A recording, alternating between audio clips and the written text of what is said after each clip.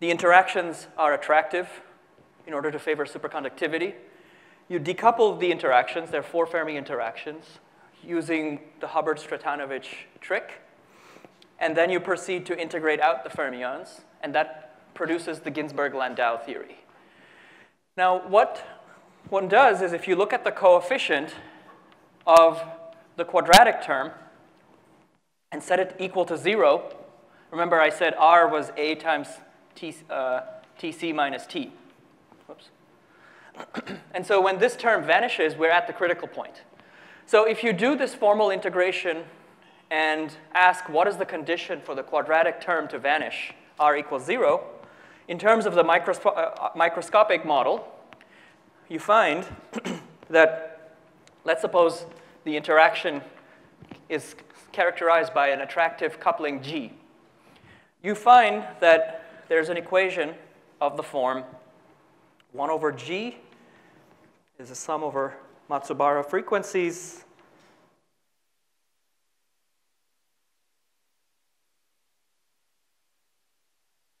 And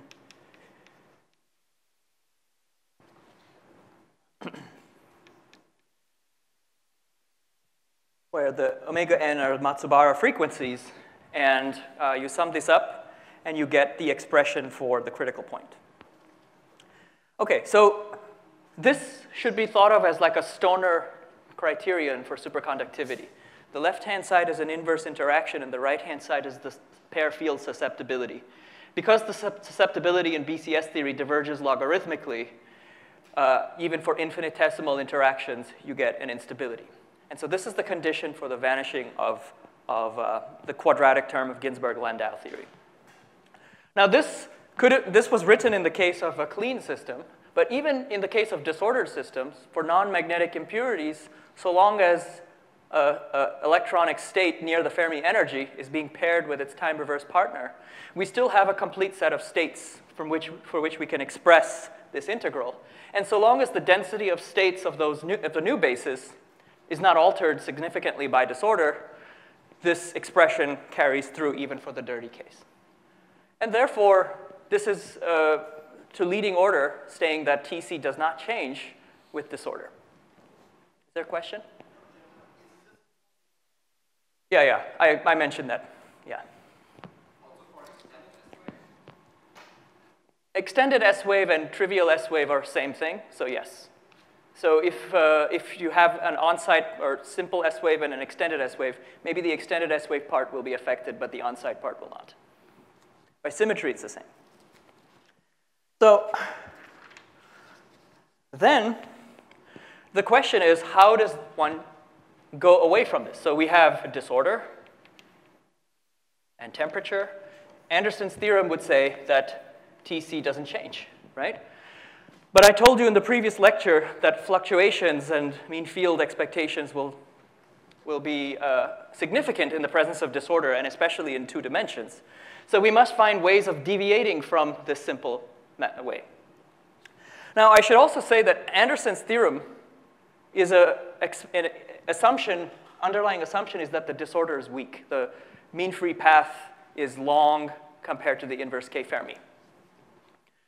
So in that case, what he, Anderson had in mind was a typical system like this. If you, if you look at energy and density of states, if you are in three dimensions, you find typically, at the edges of the band, states are localized, whereas in the middle of the band, states are extended. By this, I mean that if you have a disorder potential, and you, this is basically just particle in a box physics, if you put a, a state here, tunneling will be forbidden if it's strong disorder, and you expect psi of x to be exponentially decaying away from uh, some center of position. So x over lambda sub L. Lambda is not the penetration depth. It has a subscript L. And so this is called the localization length.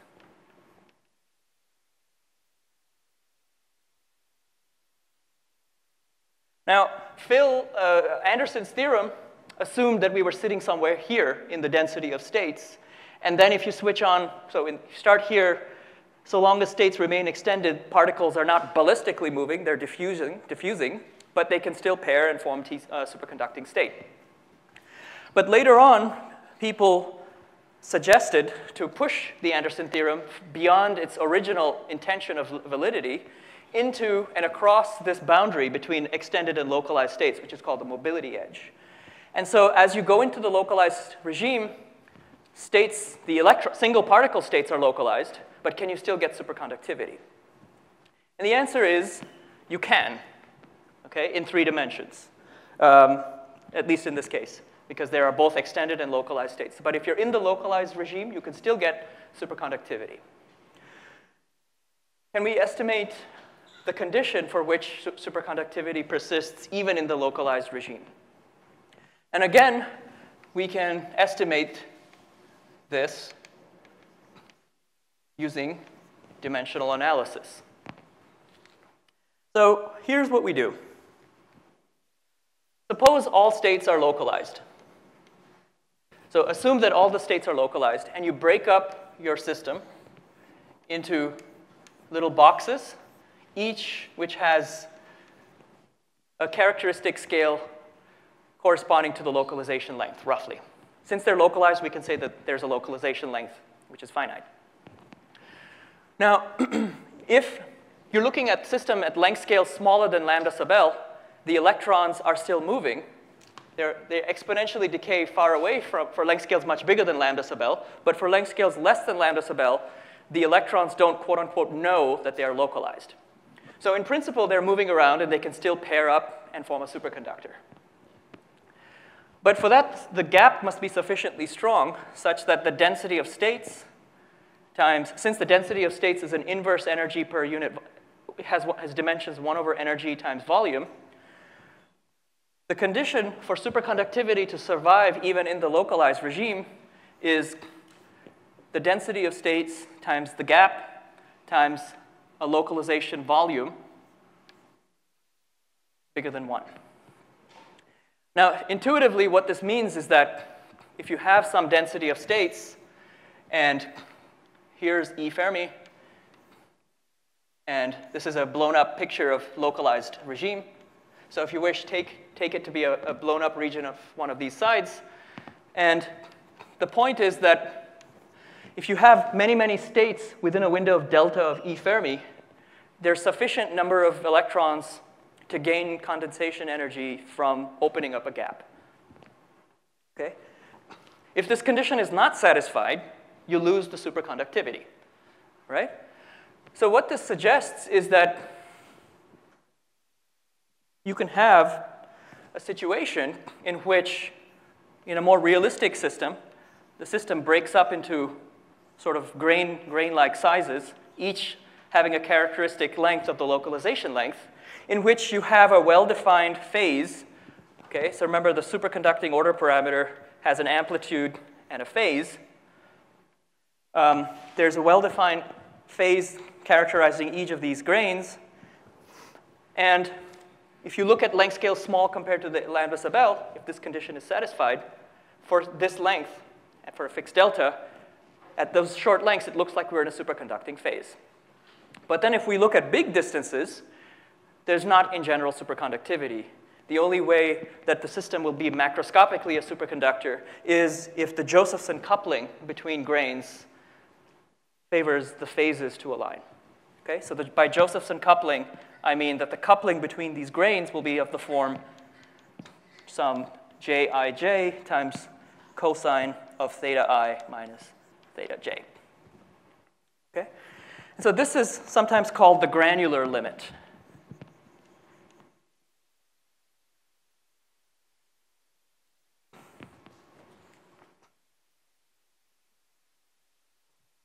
Now, it turns out that nature naturally makes films like this. If you don't work too hard as you make your film by your favorite growth technique, if you're not careful, the system will sort of phase separate into this grainy-like structure, each of the width of maybe tens or 100 angstroms or so, and you form a granular-like superconductor. Okay? And what you find, let me just show you, since this is real physics, let me just sketch some experimental data. What you find is that if you look at temperature and the resistance, resistance in a square system, actually, let me back up before I do this. The point I wanted to say is that this is three dimensions. There are both extended and localized states. But I told you that if this condition is satisfied, superconductivity survives in the localized regime. Now, it turns out in two dimensions, for weakly interacting electrons, if you look at a density of states like this, all states are localized. So if Anderson the original theorem only applied to the weak disorder case where states were extended. It would. Pardon? Yeah, J is the exchange coupling, Josephson coupling. What? Yeah. It's an oscillator function. It's an. It's. No, no, no. Uh, the ground state of this corresponds to all the phases aligned. Cosine of the angle is, the relative angle is zero. So because in three dimensions, studies showed that superconductivity survived into the localized regime, it's encouraging that in two dimensions also, where all states are localized, superconductivity can still survive. Okay? Now, in thin films, this condition is satisfied if you don't work too hard and grow uh, such that the disorder is very inhomogeneous. These are called granular superconductors. And in two dimensions, they exhibit superconductivity. And what you see is typically, so if I plot the resistance in a square, square sample, that means essentially for us resistivity.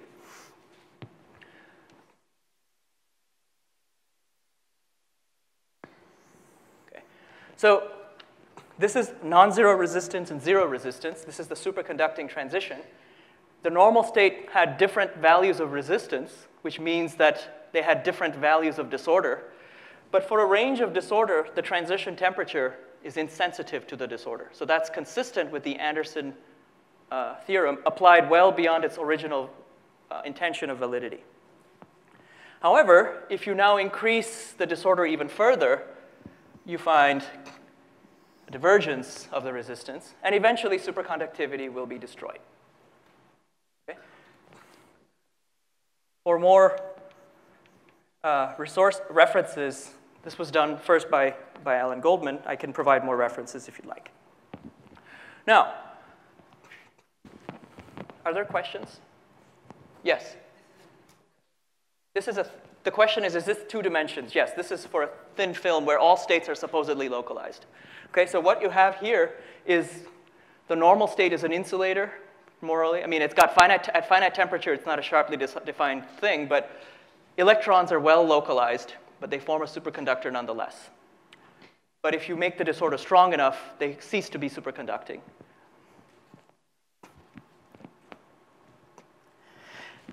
And furthermore, in the granular limit, people did tunneling measurements. And in tunneling, you are sensitive to the local density of states. In a superconductor, you open a gap at the Fermi energy, and you have a peak at a scale of roughly delta. And the extent to which delta changes with Tc is, tells us the extent to which amplitude fluctuations are important.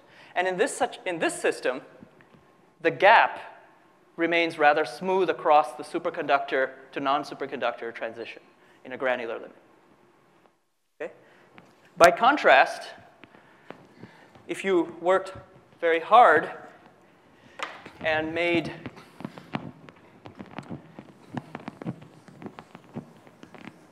the, the films much more homogeneous,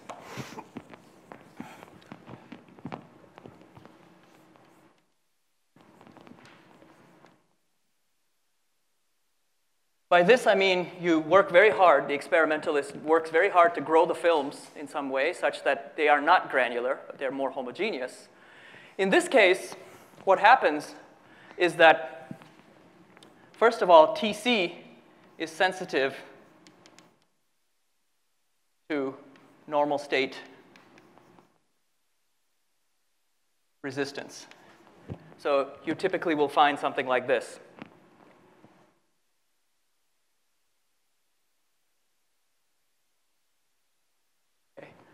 So this is the superconducting transition. This is resistance. As the normal state resistance increases, the superconducting transition temperature decreases. Okay? Furthermore, if you look at Tc versus uh, the normal state resistance in a square sample, the data fits well to a theory which involves loss of superconductivity primarily due to the fluctuations in the amplitude. How does that come about? It comes about because in a real system, superconductivity has both attractive interactions that give rise to superconductivity, but also repulsive interactions that disfavor superconductivity. And the repulsive interactions, it turns out, if you work hard, it was shown by Finkelstein and others, I think Maekawa, if you compute the diag by using the diagrammatic technique applic applicable at weak disorder, you find that the Coulomb interaction and the density of states are both suppressed. The density of states is suppressed by disorder. That's the, uh, the work of Altshuler and Aronov. But also the transition temperature is suppressed because the Coulomb interactions are now stronger, effectively stronger. Why are they stronger? It's because instead of ballistic moving electrons, we have a diffusive motion of electrons, and the diffusive behavior screens the Coulomb interaction somewhat more weakly.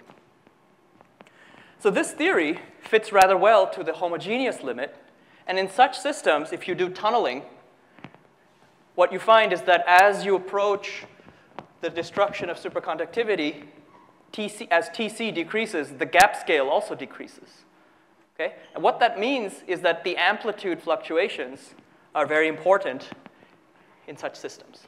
So we are quite lucky that we can think of two types of, of systems, one where the amplitude is very important and one where the phase degrees of freedom are very important. Now, these are sort of two extremes. Maybe in the real world, both are important. Okay?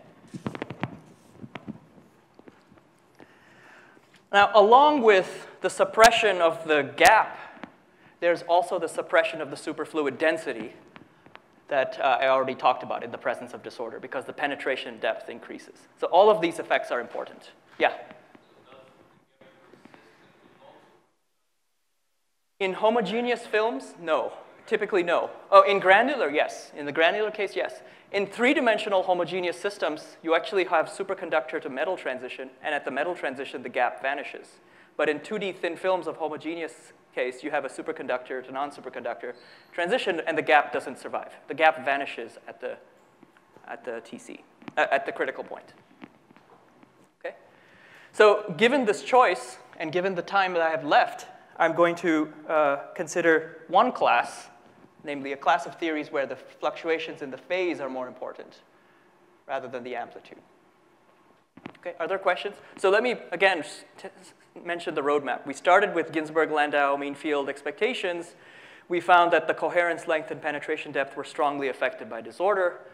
And we have to say that phase fluctuations are very important. There are amplitude fluctuations, there are phase fluctuations. Some systems, one is more important than the other. And now I'm going to focus on a class of systems, the granular systems, in which the phase fluctuations are more important. And that enables me to get much further in the time that I have left.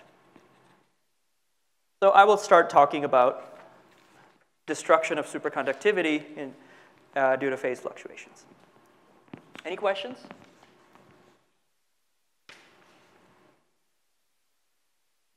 Whoops.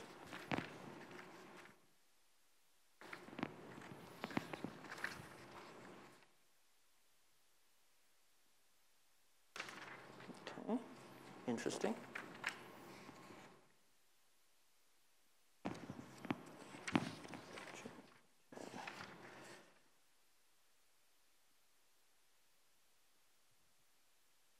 Okay. All right. Where did I put the eraser?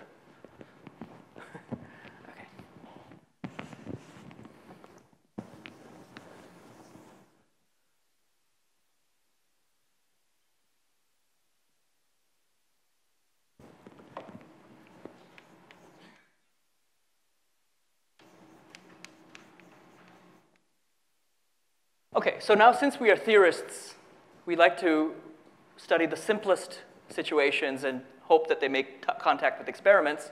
We can consider a system in which the amplitude is frozen, held frozen, and only the phase degree of freedom fluctuates. And that system is the 2D XY model. So how many of you have studied the 2D XY model and the Kosterlitz-Thouless transition? May I see a show of hands? Uh, okay. So let me back up for a second and talk about superfluids versus superconductors. And, and get in 2D. So if we have a superfluid like helium-4, they don't couple to the vector potential, and the Ginzburg-Landau theory of such a system in two dimensions would be, as before, there's no covariant derivative. So again, psi is a complex order parameter.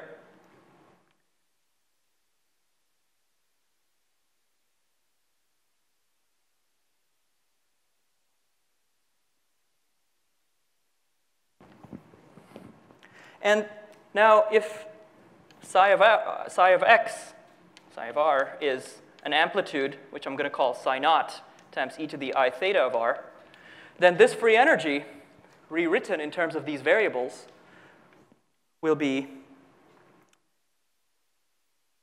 the stiffness, which we talked about last time, or the superfluid density, d2r grad theta squared plus constants which don't matter. And this problem is well studied. It's uh, something that you should, if you haven't seen before, you should uh, study at, uh, one point in your life in your statistical mechanics course or something like that. And let me just summarize what, what is known. So the phases of the system can be understood by looking at the correlation function, psi of r,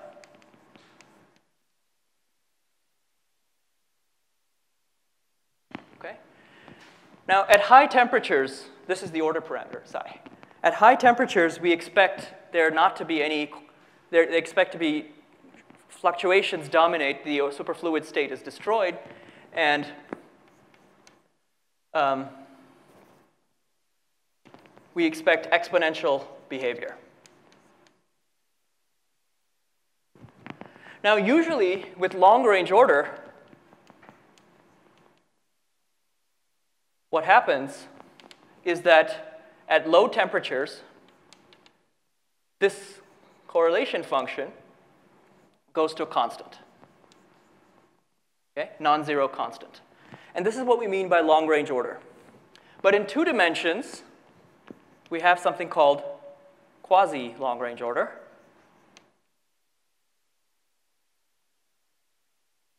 where at low temperatures, instead of a constant, G of R is a power law, some power. And this power eta, it turns out, depends on temperature.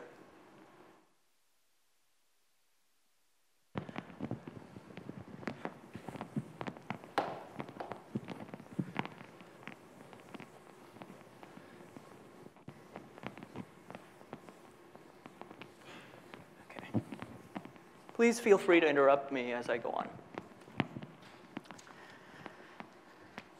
So in order to determine this exponent, we can use this free energy and simply compute this correlator, right? Because in, the, in this approximation of ignoring phase fluctuations, this is just psi naught squared times expectation value of e to the i theta of r minus theta of 0.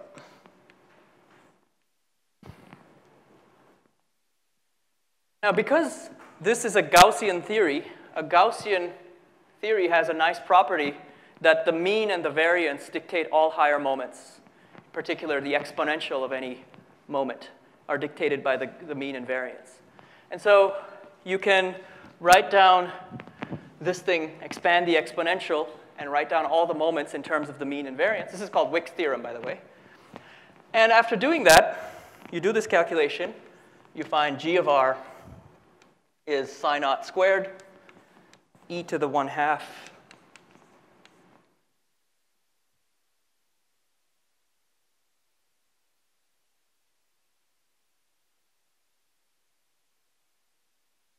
So you see what we have done. We have written the average of the exponential in terms of the exponential of some other kind of average. And now this quantity here, theta of r minus theta of 0 squared, can be simply obtained by Fourier transformation of the original problem. So in Fourier space, this is rho s over 2 d2k k squared theta squared.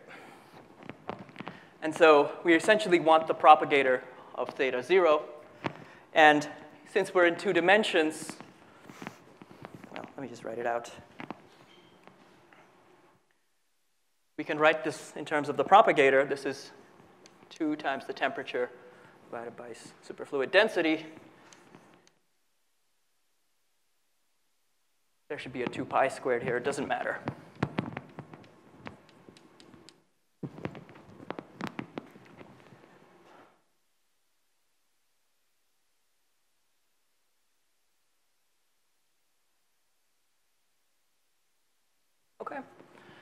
So from, again, from our favorite method, dimensional analysis, you see that in two dimensions, the numerator and denominator both go like q squared, and that usually means that logarithmic uh, divergences occur. And so this quantity here, when you do the calculation more seriously, is, is a, uh, t over pi rho sub s log of r over a0, where a0 is microscopic length, say a lattice scale or something like that. Now, because this object is logarithmic, when you exponentiate the logarithm, you get a power. And so from this, we find eta is t over 2 pi rho sub s. Okay? Now, if you haven't seen this before, I'm just sketching what you would do to uh, obtain these results, not obtaining them in any serious way. But let me just point out that the exponent is smoothly varying. Temperature-dependent exponents. But notice that as the temperature goes to zero, the exponent vanishes. And you do indeed get long-range order at zero temperature. But any finite temperature, you've lost long-range order. Instead, you get this quasi-long-range order. So notice that we've already obtained our first deviation from mean field theory. So if you take this phase perspective, life becomes fairly easy. Ginzburg-Landau mean field theory told us that there would be a superconducting state and a normal state. A superconducting state will always have long-range order in mean field theory. But a phase fluctuating model, uh, which treats fluctuations exactly, shows us that instead of long-range order, we have algebraic or quasi-long-range order. Yeah?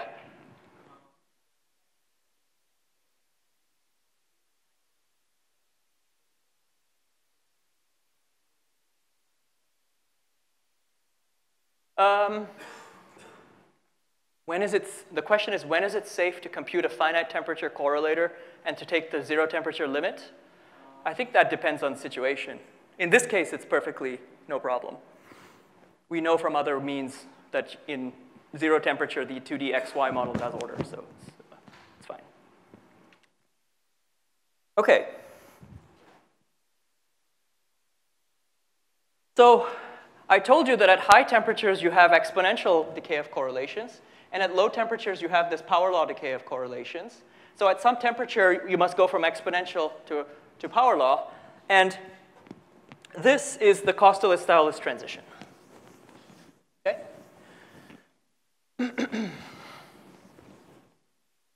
and the way it works is that one has to go beyond the simple Gaussian-like model and remember that in two dimensions, you not only have smooth fluctuations of the angle, the phase, but you also have topological defects, uh, which are called vortices. Right? A simple vortex I already mentioned last time, where um, the amplitude is actually depleted over some length scale, uh, which is c, the coherence length. But the phase, theta x comma y, uh, around the vortex winds by 2 pi, plus or minus tangent y over x. So if you look at this from above, the phase um, sort of circles around. The gradient of the phase circles around. So a vortex is defined by this. If you take a line integral,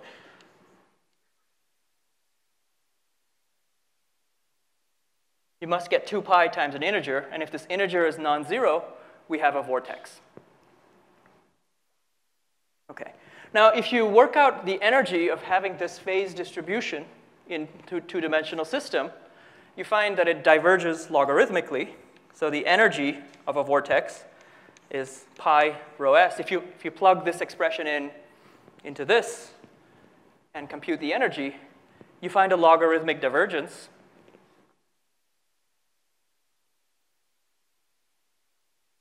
Okay. But we also know that the entropy diverges logarithmically because the number of positions the vortex can be is the number of, say, positions divided by a microscopic. So imagine you have a lattice. You break it up into lattice sites. The number of distinct lattice sites, you could put the vortex anywhere. And so the log of the number of sites, uh, places you could put the vortex is the entropy. So this is, actually it's the area, right? So because you could put it in, it's a two-dimensional system. So you have a L, n squared options.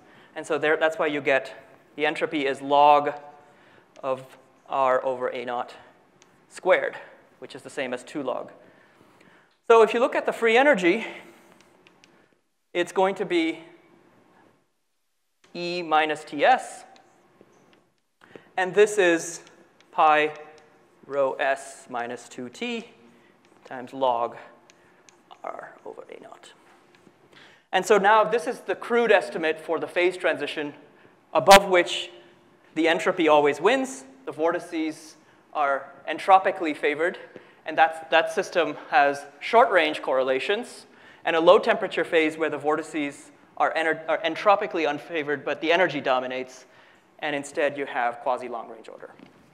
And so this crude estimate from the free energy, this argument goes to, I think, goes back to Berezinski. Um, and this is called what we can say BKT, the Berezinski-Kosterlitz-Thouless transition, where T uh, this is equal to pi over 2 times the superfluid density. Now, let me just say one last thing. If you have exponential correlations in the disordered phase and power law correlations in the ordered phase, at the critical point, the cor correlation length diverges exponentially. Turns out e to the minus some constant over is it absolute value? I believe so. Yeah, t minus tc square root. So this is an unusual form for a phase transition. Usually the correlation length or coherence length diverges as a power law at a phase transition. But here we have the unusual situation in which the coherence length or correlation length diverges exponentially. Okay, I bring all this up not only because it's simple and elegant, but also we, we want to use it. Okay. Good. But this was all superfluids. In a real superconductor, we have not just, we also have the vector potential. So we have to go back and fix that. So how is the real superconductor different than the 2D superfluid? So again, working in a phase-only representation, you find that the free energy, the Ginzburg-Landau free energy, is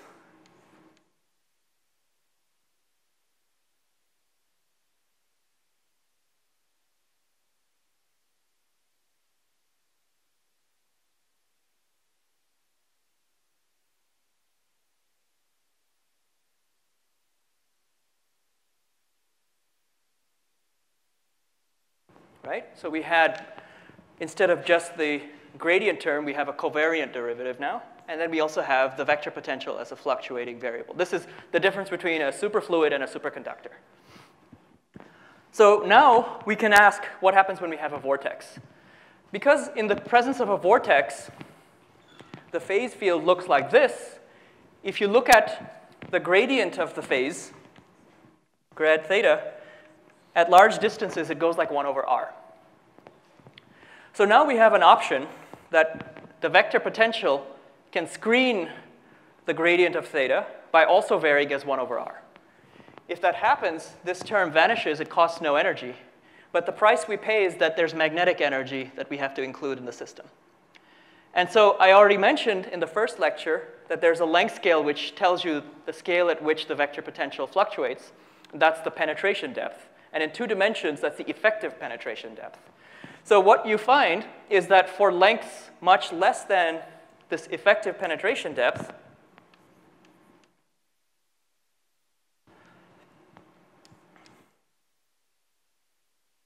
the screening does not work very well, and the system behaves essentially like a superfluid. So the vortex energy goes like a log of r over a naught. But for lengths bigger than lambda effective, sorry, this should be r, lowercase. So for lengths much bigger than this effective penetration depth, the vector potential is very good at screening the gradient of the, of the phases. And so essentially then, a vortex doesn't cost any further energy. So actually, it does cost some energy. It goes like a power law, 1 over r. But that's not so interesting in the uh, large distance limit. So what ends up happening is that now the, the key difference between a superfluid, which has logarithmically diverging energy cost to create a vortex, and a superconductor is that in the superconductor, the vortex energy is finite. As a consequence, however, the entropy is always going to be this. As a consequence, the free energy is not this form, but rather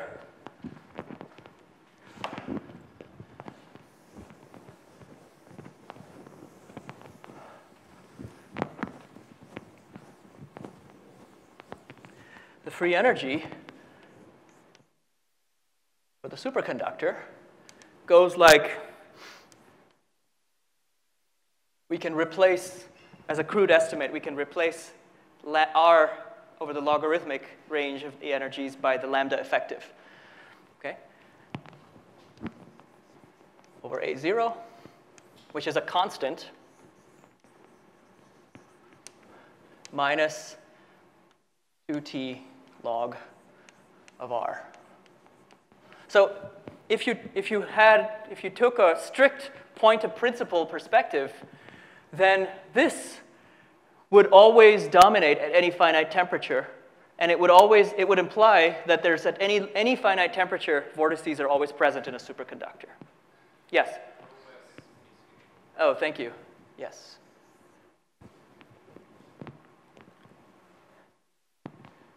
You can even put the pi if you wish. Although this is a rough estimate. This is not the exact calculation. Okay? But the statement that is exact is that the vortices are a finite energy excitation.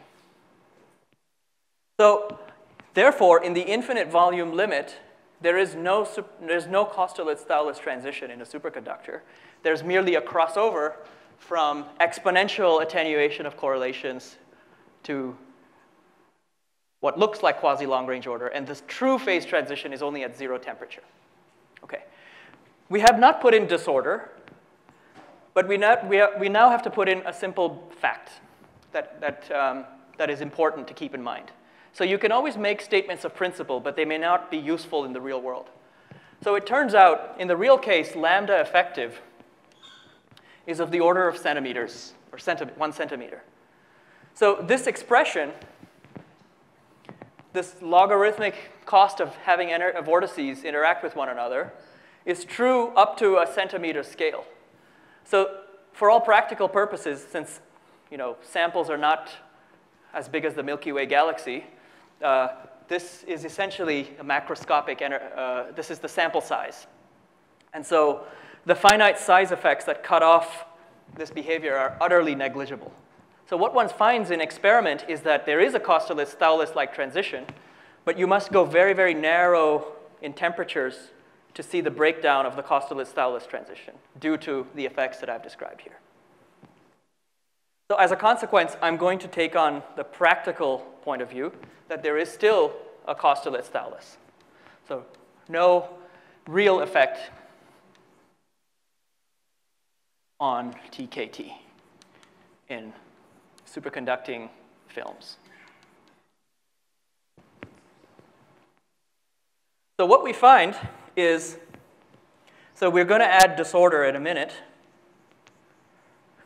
And uh, this is temperature. We can also add magnetic field. But what we find here is a Kosterlitz-Thouless transition, at least in the clean limit. This is all I've told you. Now, before I go this way, let me go out this way and ask what happens when we switch on a magnetic field. Then it turns out we don't have a Kosterlitz-Thouless transition anymore. We have a different physics. Okay, are there questions? If, if I'm confusing any of you, please uh, let me know.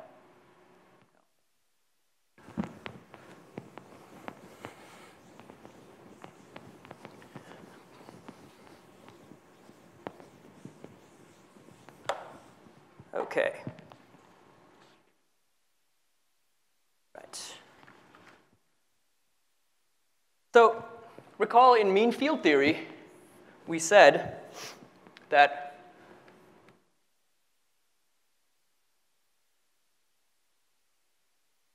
there's a lattice in a type 2 system. The phase transition at any finite magnetic field is always uh, into a lattice from a normal state, Abrikosov lattice, so long as there's no disorder. So now we want to ask, what does fluctuations do to the lattice? And so lattice, so let's consider the vortex lattice transition.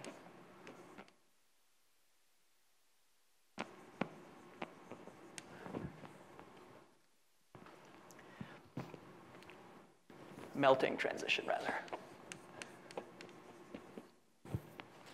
So for that, I need to take, I need to tell you what we mean by a lattice, right? The order parameter for the lattice is the density operator at some wave vector g, which is e to the i g dot r. And g is the reciprocal lattice vector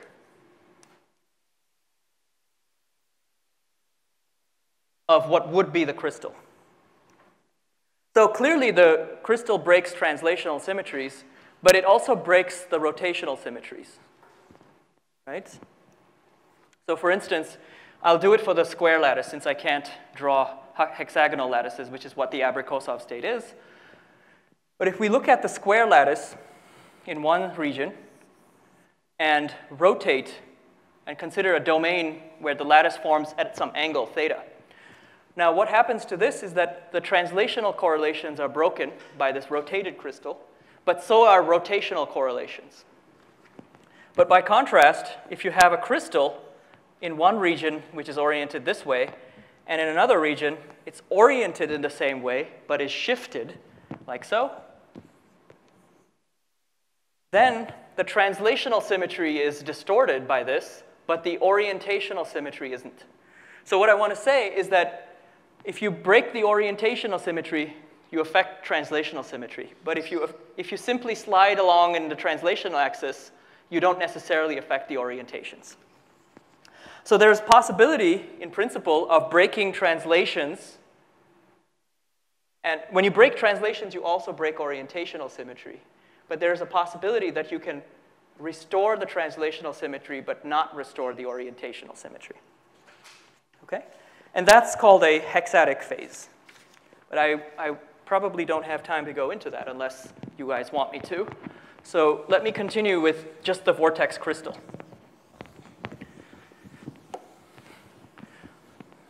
Now, it turns out that the vortex crystal also breaks a continuous symmetry, right? Because the crystal could have formed the, say, one position could have nucleated here or any along any continuous sets of positions. And hence, the crystal also breaks continuous symmetry. And as a consequence, uh, it turns out to behave very much like the Kosterlitz-Thouless story. Okay? So we can look at, again, uh, the correlation function, which for the crystal looks like this.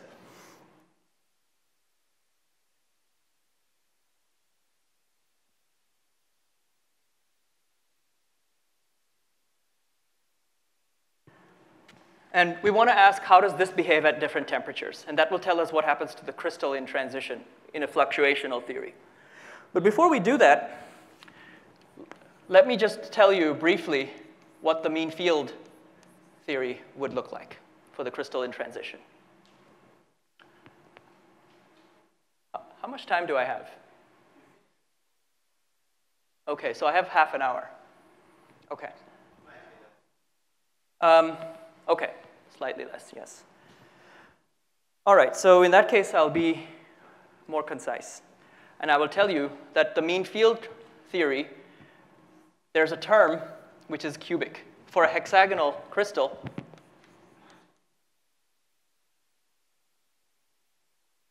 there's a term in the free energy which looks like this.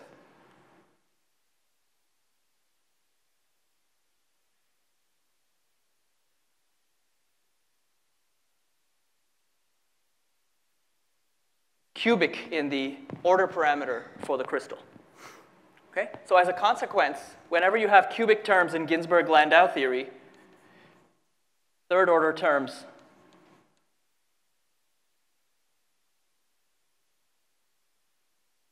invariant always imply a first order transition. So the transition from the crystal to the liquid of vortices is first order in mean field theory. Now, when you have a, a, a, mean field transition that's first order, fluctuations will not really change this conclusion very drastically. So even in a fluctuational approach, the transition will be first order.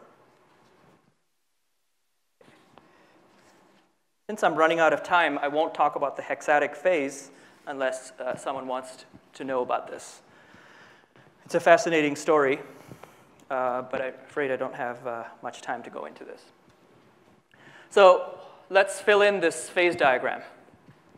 So as we look at zero disorder and we look at this transition, we have a vortex melting transition.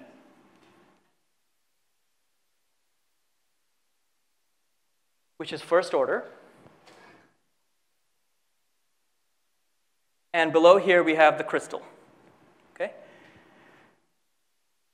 It turns out, this was work done by Daniel Fisher, that the line of transitions, TC, H, is not equal to TC of H equal to 0, which is TKT in the clean limit. So there's actually a separation between the line of melting transitions as the field goes to zero and the zero field Kosterlitz-Thouless transition, which is actually above it.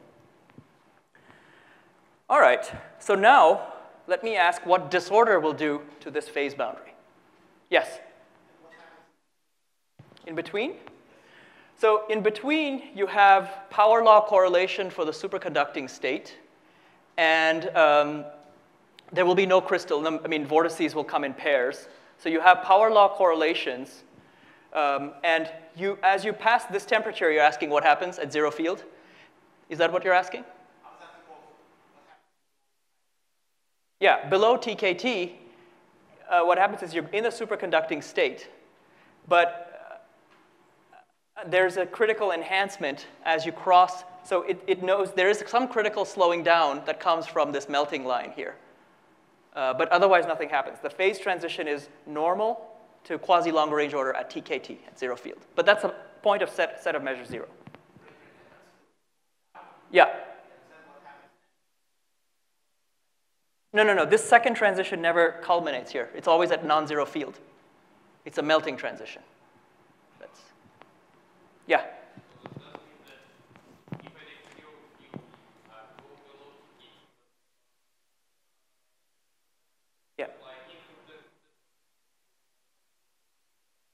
Exactly.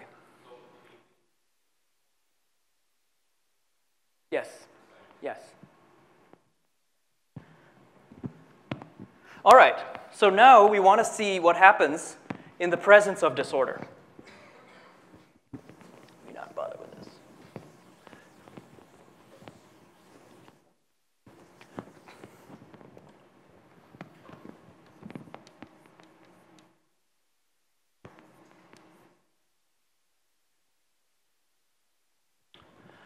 Now, we can ask what disorder does by coupling it to our Ginzburg-Landau free energy. And there's two types of disorder we can imagine. So there's a term which adds to the free energy something like a linear coupling to the order parameter, and another term which is a quadratic coupling. Say um, R of x. This is sometimes called random fields because it couples like a magnetic field. If, F, if psi were ferromagnetic order parameter, this is like the field that couples conjugate to it. And this is sometimes called random TC. Or sometimes random mass. Okay. So which one is applicable to which problem depends on symmetries and so on. But in general, the rule is if there's no rule, for, if there's nothing forbidding a coupling to disorder at the lowest power, it will happen. Okay? But with superconductivity, we have protection because the order parameter is a complex scalar, and under gauge transformations, we can always, we have to be free to make gauge transformations. So gauge invariance requires that a random field cannot couple to the superconducting order parameter. But for the vortex crystal, so, so this would be the case for the superconductor. But for the vortex crystal, there's no such symmetry principle that forbids a random field. So the appropriate disorder to consider for the crystal would be a random field. And now the question we can ask is, does the story that I told you in the absence of disorder continue to hold in the presence of disorder, depending on whether we have a random field or a random TC. And there's simple physical arguments that tell you for both cases what happens. And let me just talk about that. So let's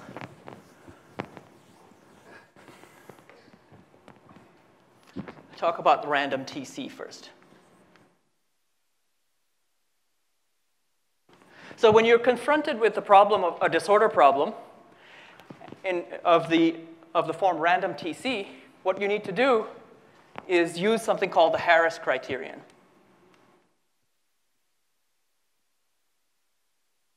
And this idea is actually very simple and very beautiful.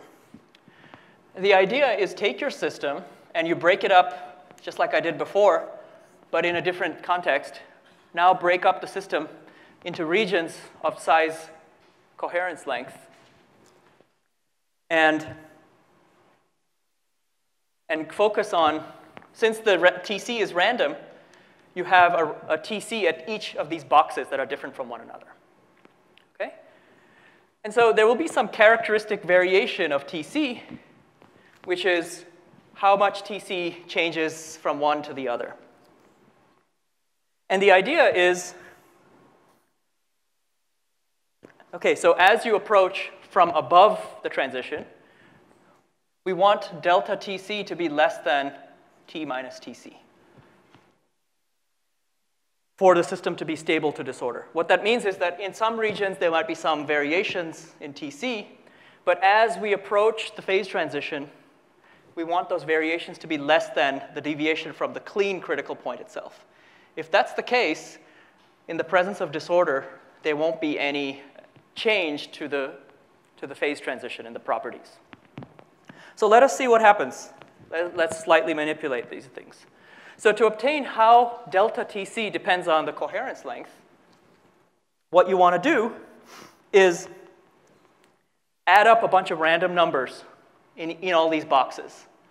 And the error in adding up such random numbers, it's like, add, it's like doing a random walk. And so delta Tc should be proportional to 1 over, there's a 1 over n, 1 over square root of n effect, right? If you add n random numbers, the change from the average is 1 over square root of n. So similarly here, this goes like minus c to the d over 2. Okay? So this is the number of, so within each box, we're adding up tc locally and asking what the characteristic variation is. And there's c to the d over 2 such values. Uh, uh, sorry, c to the d such values. And so the error in that is 1 over square root of c to the d. That's what this is. On the other hand, t minus tc can be obtained because we know that the correlation length itself goes like t minus tc to the power minus nu. So therefore, t minus tc is c to the minus 1 over nu.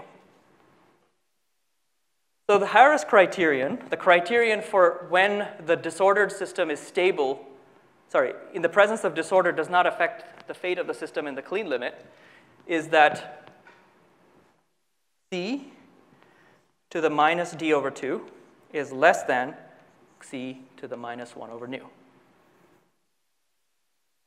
Or rearranged slightly, nu times d is greater than 2. So this is a very simple condition. You obtain these exponents in the clean limit and ask, is it bigger than 2? And if it is bigger than 2, the system, the original phase transition still survives. Okay, so, but in the Kosterlitz-Thouless transition, this is extremely well satisfied. Why is that? Because I told you that correlation length diverges exponentially. So nu is essentially infinity for us. So this is always going to be satisfied. And hence, the superconducting transition in the disordered case continues in the, uh, in the, as it did in the clean state. So transition in zero field stable to random TC. So what this tells us is that as long as we're in zero magnetic field, the transition in the plane of the board continues down. Okay? Furthermore, I told you that the superfluid density will decrease, phase fluctuations become important, and eventually the transition temperature will go to zero. So this is the first example of a quantum critical point. This is called the superconductor to insulator transition.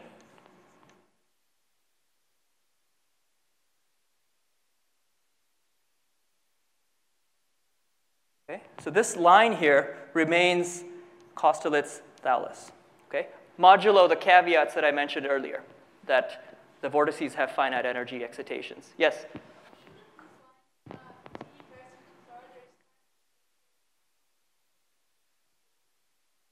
Yes. Oh, oh, sorry. Yeah, you're absolutely right.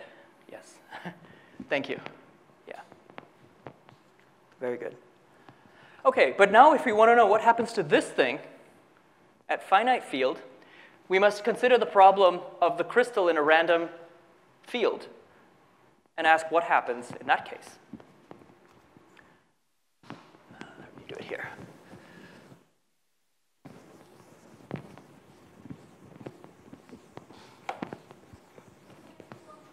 Of course.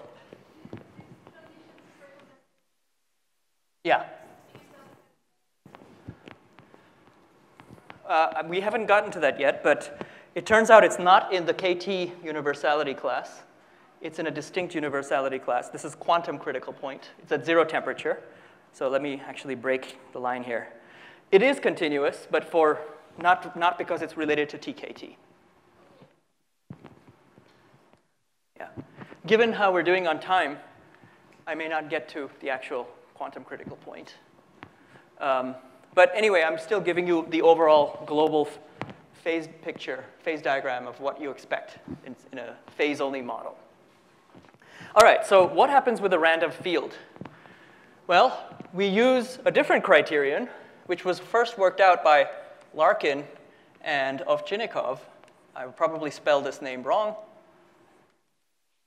Correct me if I made a mistake, but equivalently by Imry and Ma. All right. So now what we have is a different, slightly different problem. Because there's a random field like this, so now imagine we're talking about the vortex crystal. We will have disorder that couples linearly to the order parameter. And now what we want to do is because the, of the linear, the magnetic field will produce domains where the field takes on a certain value. And within a certain domain, let's call it the domain of size L.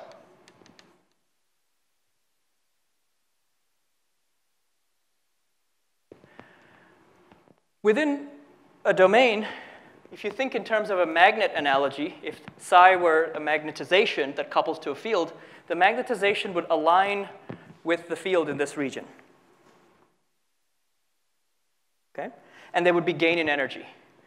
However, they would be loss in energy because the order parameter would be varying as a function of position. So we have to compare the gain in energy of aligning with the, with, with the random field with the loss in energy for varying uh, in space. And so the energy gain is very much like what we found before, is just sum over the domain of the value of the random field at each position. But now, again, we're adding a whole bunch of random numbers in a volume of L to the D. And that goes like 1 over L to the square root of D, right? So this goes, sorry, 1 over L to the D over 2. So this goes like L to the D over 2. On the other hand, the energy cost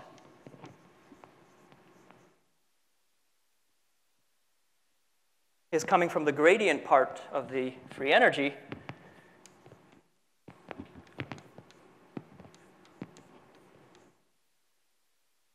And this goes, as before, this goes like the length to the d minus 2.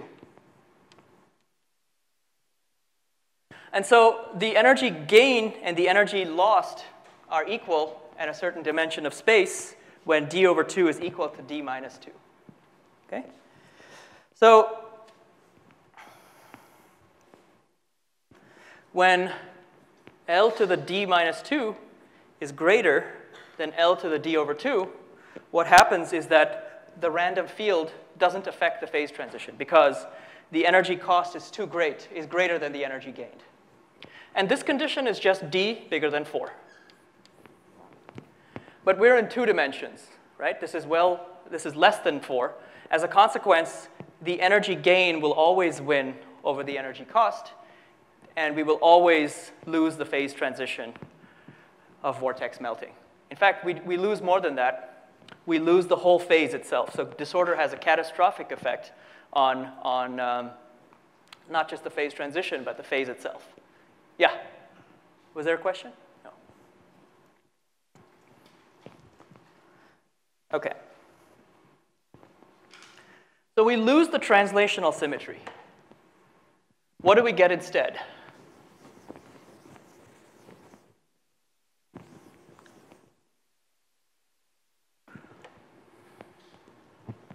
Let me just say again, D equals 2, Abrikosov vortex Abrikosov lattice.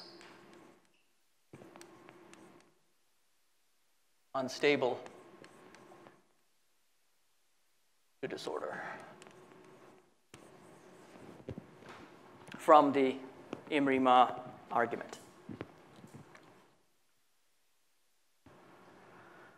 So you see that disorder makes a huge difference. An entire phase of matter has been wiped out. So what do we get instead? Instead of, as viewed above, a hexagonal crystal, so on, we get a system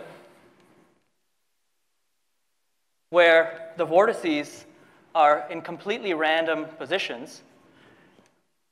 And so long as there's disorder, they're trapped in minima, they're pinned. On random positions, locations. So this phase has exponentially decaying correlations of the crystalline order parameter. And this is known as a vortex glass phase.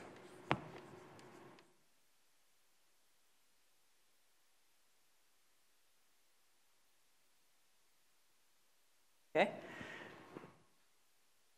What that means is that the positions is, are completely random. It's analogous to a spin glass.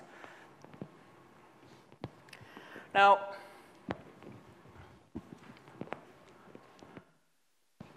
so that's what happens with disorder at finite magnetic field. But now let's add one last thing, the effects of temperature. Let me do it here.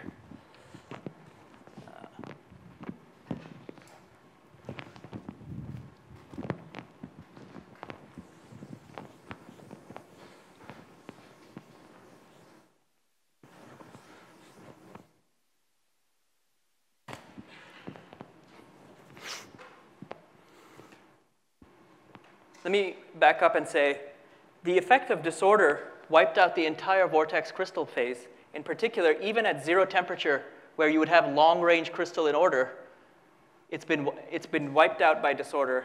And if you march along this axis, you have the vortex glass phase. So in this region, you have a vortex glass. In the plane H uh, disorder plane at zero temperature.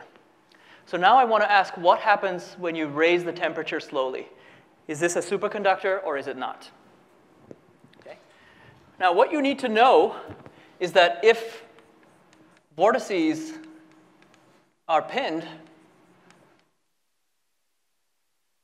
the DC resistance is zero. But, and if not, the DC resistance is not zero. Why is this? Because we have the Josephson effect, Josephson effect, which are two equations. The first is that the supercurrent goes like the gradient of the phase. And the second, that the voltage is related to the time derivative of the phase. One is, they're both the equations, right? So you can see, for instance, that if you have a superconductor where if you imagine setting boundary conditions such that theta is zero here and theta is non-zero across here. So you impose a variation in the phase. What ends up happening is that in order for this constraint to be preserved, vortices move parallel along this way. Okay? Because as they move, the phase is changing from one position to the next, but it's not changing from here to here. If the vortices moved upwards, the phase would change because they have a 2 pi phase winding. Every time they exit, the phase would jump by 2 pi. So they must move this way. But if they move, they also introduce um, a voltage this way along the direction of the phase winding. But since I told you that a gradient in the phase is a, is a current, the way you do this in practice is you drive a current across a superconductor, and the vortices move to the right, and they generate voltage fluctuations in the same direction of the current. And now, since the voltage and the current are non-zero, there's dissipation. This is the I squared R, R dissipation, Joule heating. So as a consequence, whenever you have vortices moving, the DC resistance is non-zero. So what we must ask is if we're sitting in the vortex glass phase, where the vortices are pinned, at zero temperature they're, they're frozen in a glassy state, what happens when you have a finite temperature? So the energy so let V equal the pinning, a characteristic pinning energy. By this I mean that if you have some potential, so you want to view the vortex as a little charged particle. This is somewhat a uh, different perspective than thinking of the superconductor in terms of the phase variables. But think of the vortex as a, a particle in the thin film that's trapped in the disordered landscape. And it has to overcome some barrier of the order of V to exit this pinning potential. So the Boltzmann weight, at any finite temperature, it can overcome this barrier through thermally assisted tunneling. Okay? And so then the vortices will start moving, and the vortex glass, because this is a finite energy, the vortex glass is no longer a superconductor.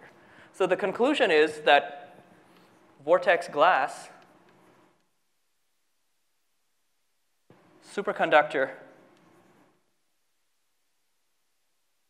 only at t equals 0.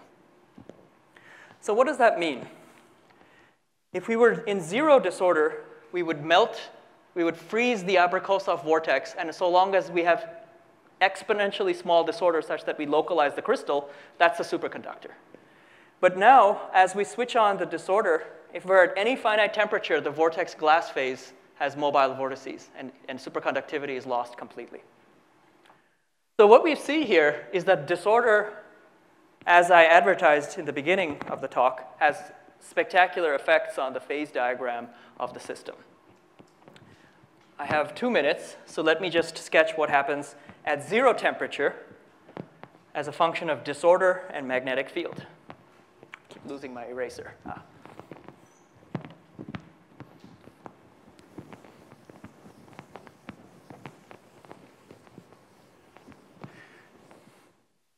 Oh, I didn't mean to.